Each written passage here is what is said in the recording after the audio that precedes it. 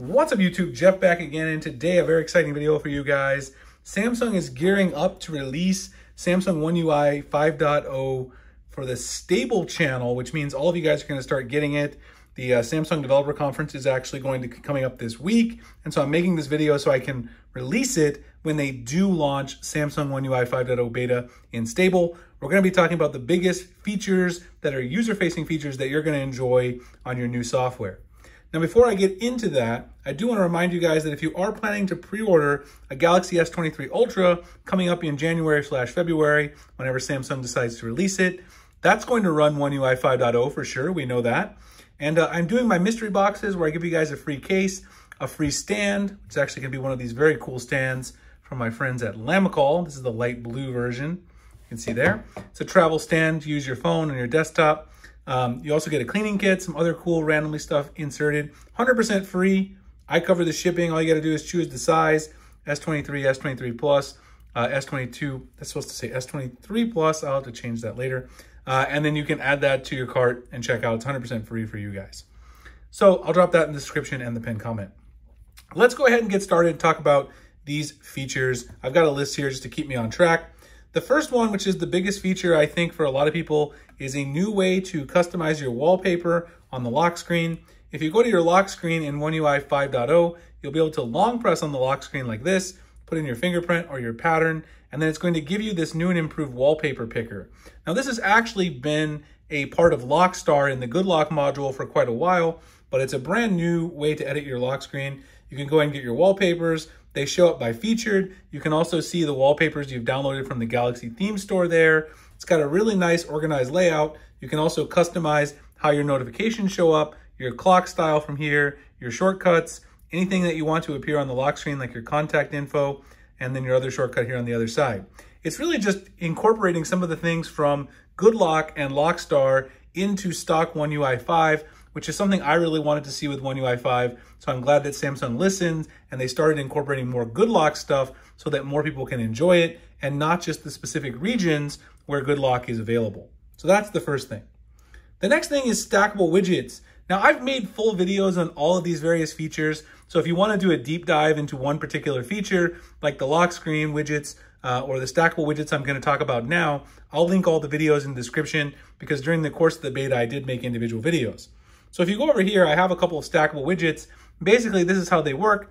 You pick out a couple of widgets that you want to stack together, and then you can swipe between them by just swiping over like this. So here I have two Google Photos widgets, and uh, these two Google Photos widgets, one for my son, it's an album of all the pictures of my son, one with all the photos of my wife, and then I put those there so I can kind of flip through them throughout the day. I also have one below here that has my current packages that are coming, along with timers in case I set any app timers. These are just widgets that just have two. You can stack more, stack as many as you want. Um, it's very convenient. You just take two widgets and you drag them on top of each other. So pick any widgets you want, like, you know, long press on your home screen and choose your widgets however you want. Drag one widget, drag another widget on top of it, um, and then you'll get a stackable widget, which you can then swipe through and enjoy. So it's very fun very cool and a nice way. It's actually made me want to use widgets more because I always feel like I want too many widgets. I don't want to clutter up my home screen, uh, although I usually use the secondary home screen um, to this side by swiping over this way. And now it's not as cluttered because instead of having four, I basically have two and I can swipe between them. I really like the stackable widgets feature that Samsung has enabled. Uh, the next thing is improved multitasking. And let me actually talk about this. There's a couple of key things here. The first thing that's key with the improved multitasking is that Samsung has now made it so that when you go into your recent apps, what you can do is you can actually take an app and drag it to either the top or the bottom, and it's gonna take you into split screen view. Or you can drag it in the middle and it's gonna open in, in pop-up view, as you guys saw right there. Now, of course, you've always been able to do that by just tapping on it and you can open it wherever you want, split screen or pop-up. But being able to do this by dragging and dropping is really a nice, fantastic feature. Now, once you're in an application, like say Twitter, you can now use new gestures, which are available in Samsung Labs, swipe down from the corner to take this into pop-up view like that right there. Or you can also, if you want to go into split screen view, you can do two fingers, although this can sometimes be a little finicky if you have Samsung Pay enabled, two finger swipe from the bottom to take you into multi-window view and uh, get the split screen view as well.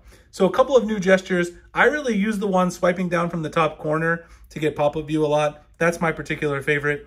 Again, you know, gestures is going to be what's natural for you. The two finger one, I find a little bit finicky and, and it's not one that I use as much, but the pop-up one I use all the time. As you guys see now, I'm using Google Keep in pop-up mode.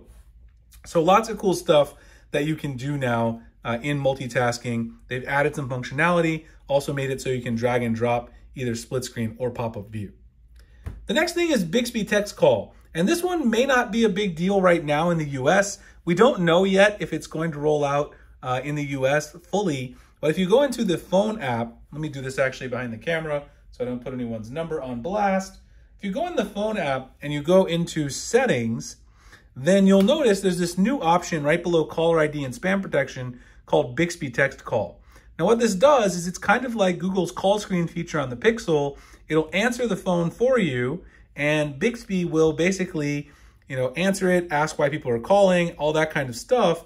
And it's only available right now in Korean. So you can tap on text uh, responses as you're seeing the transcription of the call and ask for additional information, you know, say whatever you want to the caller and Bixby will read it.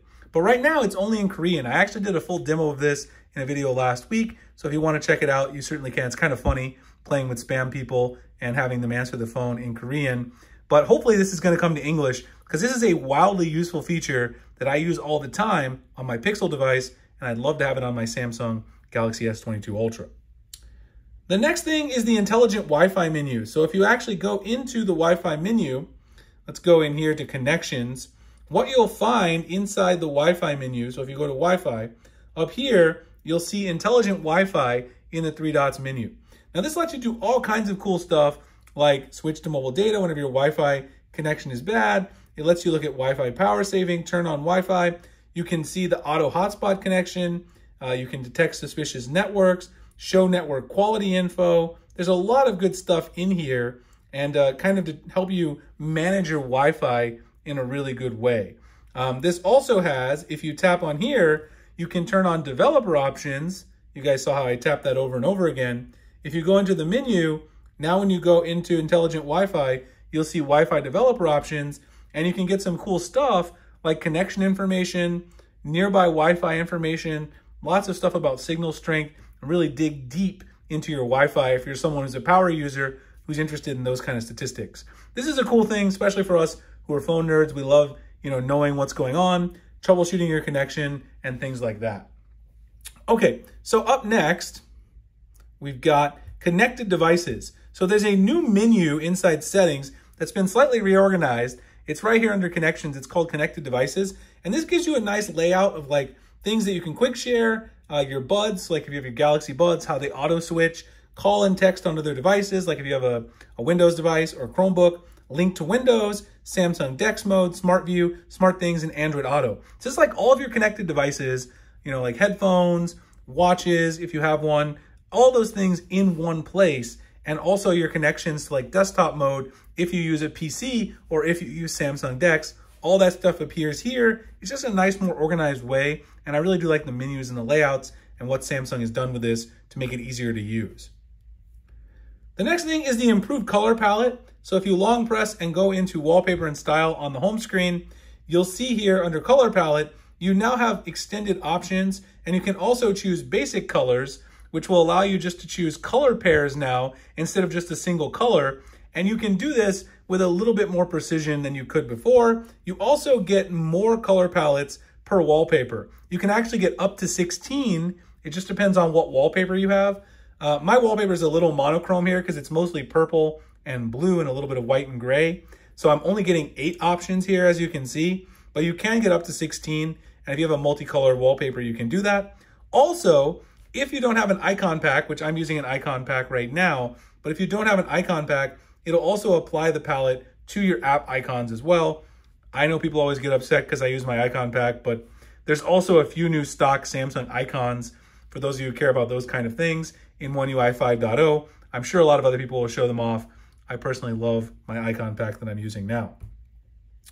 Uh, the last thing is kind of a bonus one. I didn't know about this until recently, but apparently there is a version of Over the Horizon, which is Samsung's, you know, classic ringtone uh, that's performed by a member of BTS, uh, the Korean pop group. So if you go into sounds and vibration, you go into ringtone, you can go right here. It says Samsung brand sound over the horizon by Sugar of BTS. I probably pronounced it wrong, so someone who's a BTS fan can let me know. But anyway, let me turn on the sound really quick. And so if you go in here, this is the this is the traditional. This is the traditional one. They actually play this before all the Unpacked events. This is the BTS version.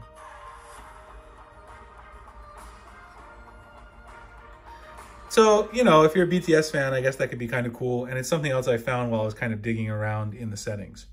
Anyway, those are the main changes. There's also some changes to notifications, the way they look, a couple of other permissions. I'll probably do a deeper dive once stable is released and make more videos.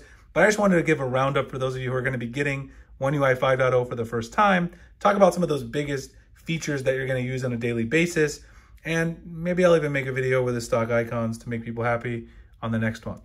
Anyway, hope you guys enjoyed the video. If you did, like, comment, subscribe, hit the notification icon. Check out the Galaxy S23 Ultra mystery boxes. Again, they're 100% free if you guys are interested in pre-ordering one of those. Um, and if you guys want to check that out, the link will be in the description in the pinned comment. Appreciate you guys checking out this one, and I'll see you in the next one. Thanks a lot for watching.